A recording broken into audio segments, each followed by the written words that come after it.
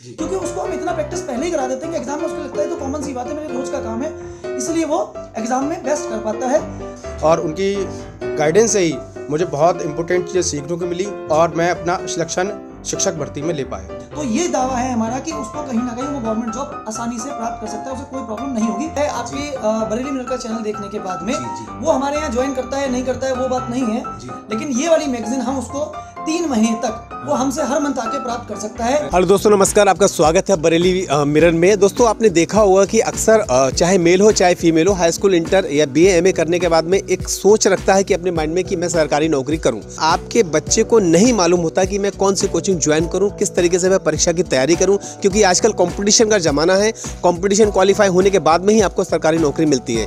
इसमें बच्चा जो है भ्रम जाल में फैल फैल जाता है। लेकिन आपको शायद नहीं पता होगा कि अपने शहर में एक ऐसा स्थान है एक ऐसी कोचिंग है जिसके बच्चे पूरे बरेली मंडल में अपना परचम लहरा रहे हैं। यहाँ से कंपटीशन क्वालिफाई करके, यहाँ से सीख के, पढ़ के, कोचिंग करके, परीक्षा में बैठते हैं और अच्छा स्थान पाते हैं।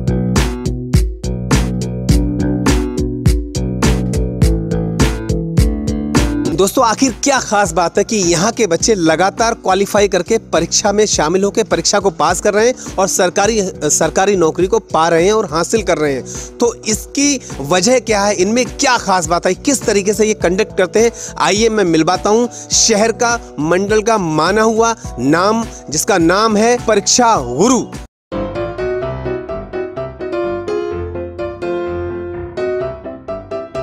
तो आइए दोस्तों मैं मिलवाता हूँ यहाँ के जो कोचिंग संचालक महोदय हैं उनसे मैं आपको मिलवाने ले चलता हूँ। हेलो सर नमस्कार। आपका नाम क्या है सर? अजय। अजय जी आपका स्वागत है बरेली मिरर में। जैसे कि मैंने देखा है और सुना है कि आपकी जो कोचिंग है वरिक परीक्षा गुरु पूरे मंडल में बहुत ही अच्छा स्थान है इसका बहुत जाना पहचाना नाम है। आखिर जो वजह क्या है, यहाँ पे कैसी कैसी पढ़ाई होती है और कौन कौन से बच्चे सेलेक्ट होते हैं किस किस विभाग में क्या वर्क होता है, वो जानने के लिए हमारी टीम आपके पास में आई है सर तो आप मैं किससे मिलवाना चाहते हैं आप सर? सर मैं आपकी जो भी क्वेरीज हैं उनके लिए मैं आपको आपके जो हमारे कोचिंग के एम डी हैं मैं उनसे मिलवाना चाहता हूँ। आज जी जी जी। जी सर मिलवाइए। आपके कोचिंग के जो एमडी सर हैं उनसे आ, मिलवाइए। सर मैं आपसे पूछना चाहूँगा कि हमारे दर्शक लोग आपको देख रहे हैं और आपका जो परीक्षा गुरु है यहाँ का जो कंडीशन है पूरी इसमें पूरा जो आपका प्रांगण है पूरा आपका प्लेटफॉर्म है आप बच्चों से किस तरीके से तैयारी करवाते हो प्रिपरेशन करवाते हो वो सारी तैयारियाँ मैं एक बार अपने दर्शक लोगों को दिखा दिखा देना चाहता हूँ सर तो क्या आप दिखाने के लिए सक्षम है? सर दिखाएँगे मेरे लिए सर? बिल्कुल सर बिल्कुल। मैं आपको दिखाऊँगा लाइव क्लासेस हमारे यहाँ कैसे चलती हैं किस प्रकार से बच्चे हमारे यहाँ पढ़ते हैं। तो आइए मैं ले चलता हूँ आपको क्लासरूम में ही। चलिए दोस्तों बिल्कुल अब बेकरार रहिएगा मत। मैं आपको दिखा देना चाहता हूँ कि कैसे कैसे क्लासेस चलती हैं और किस किस तरीके से बच्चे यहाँ पढ़ाई करके अपना फ्यूचर बनाते हैं। आइए मेरे साथ। तो जैसा कि दोस्तों मैंने आपको बताया कि मैं आपको क्लासरूम के अंदर ले चलता हूँ और वहाँ की जो पढ़ाई हो रही है वहाँ के ट्यूटर जो पढ़ा रहे हैं वो मैं आपको दिखाऊँगा किस तरीके से पढ़ाई होती है। आइए मेरे साथ में बने रहिएगा हमारे बरेली के दर्शक लोग। मैं क्लासरूम के अंदर आ चुका हूँ यहाँ पे सोशल डिस्टेंसिंग के तहत सभी बच्चे बैठे हुए हैं और बखूबी यहाँ पे हमारे जो सर हैं वहाँ पे सर बच्चों को ट्यूट कर रहे हैं पढ़ा रहे हैं। तो हेलो सर स्वागत है आपका बरेली मिरर में। आपका क्या नाम है sir D D Maurya ji. Maurya ji मैं आपसे पूछना चाहूँगा कि ये जो आपका बैच लगा हुआ है यहाँ पे मेल फीमेल सभी लोग बैठे हुए हैं सोशल डिस्टेंसिंग के तहत में आप भी आप जो है किस सब्जेक्ट की क्लास क्या पढ़ा रहे हैं इनके लिए? हिंदी पढ़ा रहा हूँ इनको। देखिए जो मैं हिंदी पढ़ाता हूँ बरेली में जी।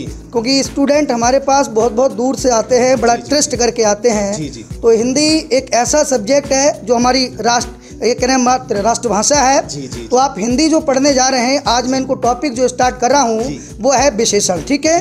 तो जो इनके पेपर में बहुत इंपॉर्टेंट टॉपिक है जो आता है क्योंकि मैं जो रेगुलर क्लास में जो बैच चलते हैं उन्हीं के अकॉर्डिंग आपको पढ़ाता हूँ। तो लोगों ये सारे विद्यार्थी जो मैं मैं पूछना चाहूँगा यहाँ के जो विद्यार्थी हैं वो भी हमसे वो भी सीख रहे हैं आपसे और मैं भी कुछ सीखना चाहूँगा जो हमारे दर्शक है वो भी सीखना चाहेंगे। मैं एक शब्द में आपसे पूछना चाहूँगा कि ये विशेषण है ये क्या है? इसका विशेष क्या है? देखिए विशेषण क्या है? विशेषण की जो डेफिनेशन है एक मैं अपने शब्दों में कह सकता हूँ कि विशेषण का अर्थ है कि जो शब्द संज्ञा और सर्वनाम की विशेषता बताता है वो विशेषण होता है। इसे अंग्रेज़ी में एडजेक्टिव कहते हैं। बहुत बढ़िया बहुत बढ़िया। दोस्तों देखिए जैसे कि हमारे सर ने आप लोगों को बताया और हमारे जो स्टूडेंट्स यहाँ पे बैठे हुए उन उन लोगों को भी बताया। बहुत अच्छा पढ़ा रहे हैं ये हिंदी भाषा पढ़ा रहे हैं। चलिए मैं कुछ स्टूडेंट्स से मैं आपको मिल, मिलवाना चाहूँगा। मैं उनसे पूछना चाहूँगा कि यहाँ पे मौर्य हिसाब से जो क्लास लेते हैं या यहाँ पे परीक्षा ग्रुप में जो पढ़ाई करने के लिए आते हैं वो क्या सीखते हैं और कितना सीखा है और क्या क्या उनकी विशेषताएँ हैं क्या परीक्षा गुरु गुरु के बारे में वो क्या कहते हैं? उन्होंने यहाँ पे क्या किया है? अ, मैं आप पूछना चाहूँगा। हेलो मैम नमस्कार आपका स्वागत है। जी। क्या नाम है आपका मैम? सपना शर्मा। सपना जी मुझे आप ये बताइए कितने दिन से आपने ये अ, क्लास ये परीक्षा गुरु यहाँ ज्वाइन किया है और आप किसकी तैयारी कर रही हैं? सर मैंने सी टेट और टेट का यहीं से कोचिंग करके क्वालिफाई किया है और सुपर अच्छा आपने क्वालिफाई भी कर लिया है? और सुपर टेट का मैंने ये बैच आज स्टार्ट करा है। जी, जी। जी आज मेरा फ़र्स्ट डे है। बहुत अच्छी बात है बहुत अच्छी बात है। और मैं आपको रूबरू कराऊँगा। हेलो मैम आपका क्या नाम है? दीपिका गंगवार। दीपिका जी आपने कितने दिन पहले ये कोचिंग जो है ज्वाइन की है और यहाँ पे आप किसकी तैयारी कर रही हैं? सर मेरे को अभी आठ या दस दिन ही हुए हैं जी। और मैं टेट और सी टेट की कोचिंग कर रही हूँ। बहुत बढ़िया बहुत बढ़िया। हेलो सर नमस्कार आपका स्वागत है आप बरेली मिरर में। आपने किस दिन अ, कितने समय से ये कोचिंग ज्वाइन की है और आप क्या सीख रहे हैं यहाँ पे सर? सर मैंने दो नवंबर से ये बैच ज्वाइन किया है और मैं टेट सी टेट के लिए ज्वाइन किया है। तो उसी की तैयारी कर रहा हूँ। बहुत अच्छा बहुत बढ़िया। जैसे कि दोस्तों आपने देखा कि यहाँ पे बच्चे TET super TET Uttar Pradesh police सेवा लेखपाल तमाम प्रकार की जो जॉब होती है उसकी तैयारी यहाँ पे कर रहे हैं लगातार। अच्छा सर अभी हाल ही में मैंने देखा गया था कि मैंने सुना था कि उनहत्तर हज़ार शिक्षक भर्तियों का जो है रिज़ल्ट आया है। तो मैं पूछ रहा हूँ कि उस परीक्षा में आपके यहाँ के कितने बच्चे क्वालिफाई हुए हैं? ऐसा आ, आ, हमारे जो दर्शक लोग हैं बरेली के पूरे मंडल के देख रहे हैं उनको सर आप बताइएगा।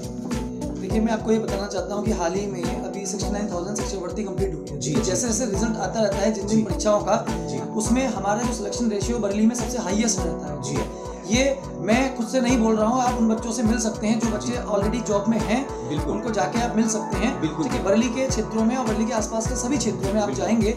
ठीक है तो अभी हाल ही में जो भर्ती कंप्लीट हुई है मैं उसकी अगर चर्चा करूँ तो उसमें बहुत बड़ी मात्रा में शिक्षक जो हैं परीक्षा गुरु से सिलेक्ट होके आए। हैं ठीक है तो ऐसे ही कुछ छात्रों से मैं आज आपको मिलवाना चाहूँगा जो। अपने ज्वाइनिंग लेटर के साथ में मौजूद हैं और आपको बताएँगे कि अपना अनुभव बताएँगे अपने साथ साझा करेंगे हमने कैसे तैयारी करी और आज उनका फाइनली चयन हो चुका है। दोस्तों देखिए बने रहिएगा हमारे साथ में बरेली मिरर के साथ में। तो यहाँ परीक्षा गुरु से जिन्होंने पास आउट किया है और वो जो है हमारे समक्ष मौजूद हैं उन लोगों से मैं आपको मिलवाना चाहता हूँ। हेलो सर आपका स्वागत है। आपका नाम क्या है सर उपेंद्र कुमार।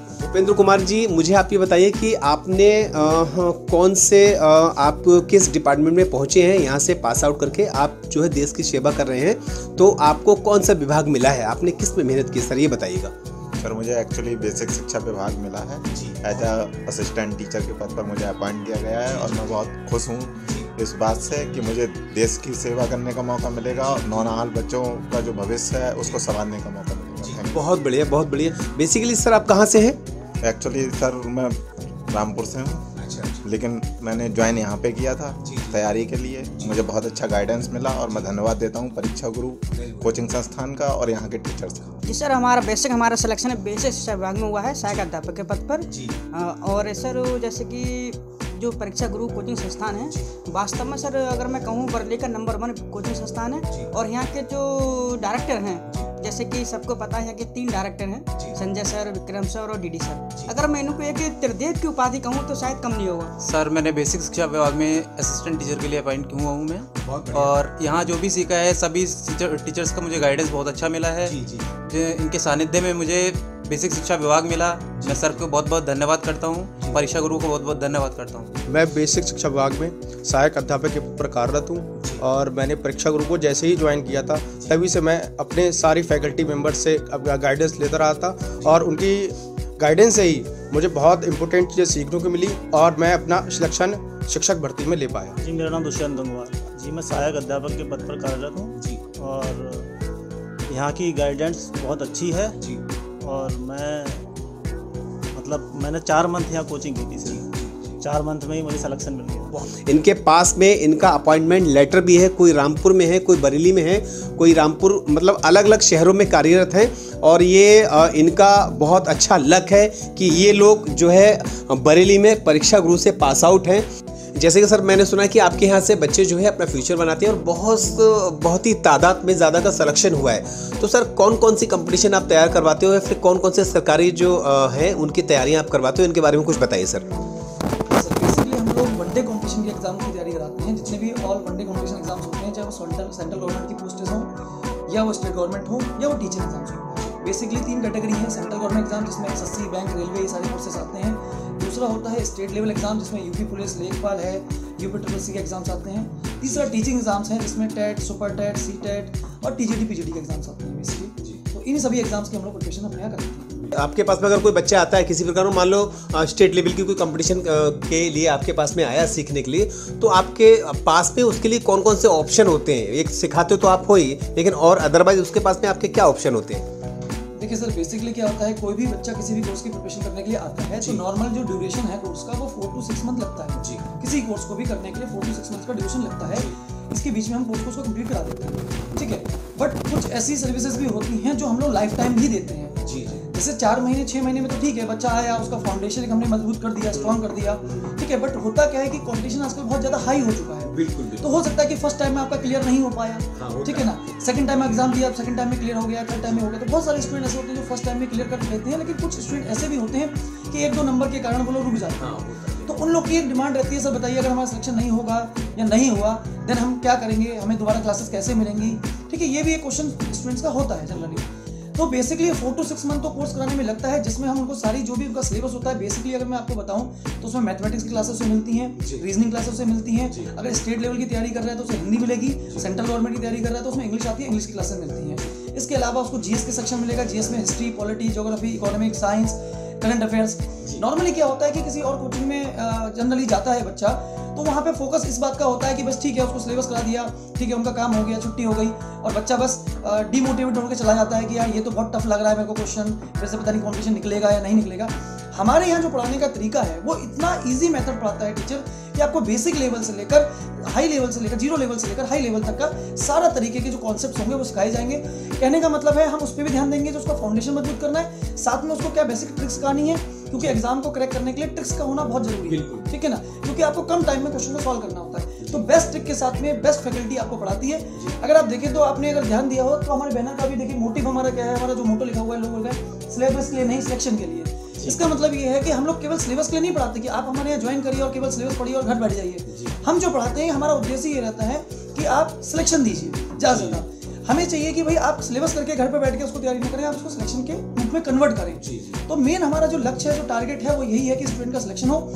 और मैं आपको एक इंपॉर्टेंट चीज़ बताना चाहता हूँ हमारी कोचिंग में फैसिलिटी मिलती है कि ये सारी सर्विसेज़ हमारी मैगजीन्स हमारी टेस्ट पेपर अच्छा एक चीज़ मैं और जोड़ देता हूँ देखिए आजकल एग्ज़ाम हो गया है ऑनलाइन मैक्सिमम एग्ज़ाम जो ऑनलाइन हो रहे हैं। जी जी। ठीक है? तो हम लोग स्टूडेंट्स को ऑनलाइन मोड में भी और ऑफलाइन मोड में भी दोनों मोड में हम लोग उसके एग्ज़ाम टेस्ट सीरीज़ कराते हैं ताकि वो जब एग्ज़ाम देने जाए तो उससे पहले इतना कॉन्फिडेंट हो जाए कि एग्ज़ाम में जाके वो एग्ज़ाम जब लिख रहा है या दे रहा है वहाँ पे ऑनलाइन दे रहा है तो उसको ये ना लगे कि मैं फ़र्स्ट टाइम कंप्यूटर पे बैठा हूँ या फ़र्स्ट टाइम एग्ज़ाम दे रहा हूँ। उससे पहले ही हम लोग उसको इतना ज़्यादा ऑनलाइन ऑफलाइन में इतना ज़्यादा प्रैक्टिस करा देते हैं कि जिससे कहीं ना कहीं वो जब एग्ज़ाम में बैठता है उसको लगता है कि नॉर्मल सी बात है मेरी डेली की बात है जो। आपने पूछा था रिज़ल्ट बेस्ट क्यों रहती है? क्योंकि उसको हम इतना प्रैक्टिस पहले ही करा देते हैं कि एग्ज़ाम में उसको लगता है तो कॉमन सी बात है मेरे रोज का काम है इसलिए वो एग्ज़ाम में बेस्ट कर पाता है। यहाँ पे कुछ बच्चे ऐसे होंगे जो बहुत ही ज़्यादा होनार बहुत ही समझदार और बहुत ही ज़्यादा ब्रिलियंट होंगे। बट उनके पास में सर फाइनेंशियल कंडीशन होती है अक्सर देखा गया है। तो इन ऐसे बच्चों के लिए आपके पास में कोई ऑप्शन या कुछ इनके बारे में आप क्या सोचते हैं और क्या क्या रखते हैं? सर ये बताइए। अगर कोई स्टूडेंट कहता है कि सर नहीं मैं इतनी फ़ीस भी जमा नहीं कर सकता सर मैं बहुत वीक हूँ ठीक है ना और मेरी बहुत समस्याएँ हैं ठीक है मैं नहीं कर पाता हूँ तो हम कहीं ना कहीं उससे कोई हार्ड एंड फास्ट फ़ीस नहीं होता उसको फ्री में भी हम ऑफ़र करते हैं कि ठीक है आप क्लास ज्वाइन करिए आप हमको रिज़ल्ट दीजिए आप अच्छा पढ़िए सिलेक्ट कीजिए रिज़ल्ट दीजिए। अच्छा सर एक क्वेश्चन ये है कि हमारे दर्शक आपको लगातार देख रहे हैं और भी पूरे शहर की जनता आपको देख रही है लगातार तो अगर हमारे जो बरेली मिरर के माध्यम से आपके पास में कोई आता है कोई स्टूडेंट्स आता है मेल या फीमेल तो उनके लिए आप सर कौन सा मैसेज देना चाहेंगे सर ये बताइएगा।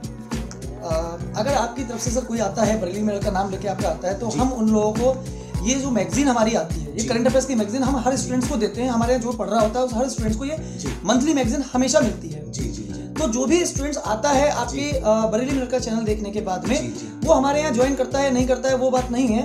लेकिन ये वाली मैगजीन हम उसको तीन महीने तक वो हमसे हर मंथ आके प्राप्त कर सकता है। इसके साथ साथ वो हमारे यहाँ तीन से चार दिन के लिए फ्री क्लास ट्रायल लेके भी देख सकता है और जज कर सकता है अनुभव ले सकता है कि तैयारी कॉम्पिटिशन एग्ज़ाम्स की किस प्रकार से की जाती है। बहुत बढ़िया। इसके अलावा संडे स्पेशल क्लास में भी हमारी चलती रहती है। फ्री ऑफ़ क्लास वो क्लास भी अटेंड कर सकता है। वाह बहुत बढ़िया बहुत बढ़िया। दोस्तों तो देखा आपने और अगर आप में भी है जज्बा सरकारी नौकरी करने का आप भी देश और सेवा की आ, सेवा प्रदान करना चाहते हैं देश प्रदेश में अपना नाम ख्याति प्राप्त करना चाहते हैं तो आप भी बगैर झिझक बगैर बेरोक टोक यहाँ पे चले आइए और अपना कैरियर बनाइए और इसी के साथ देखते रहिएगा the Bareilly mirror. Thank you.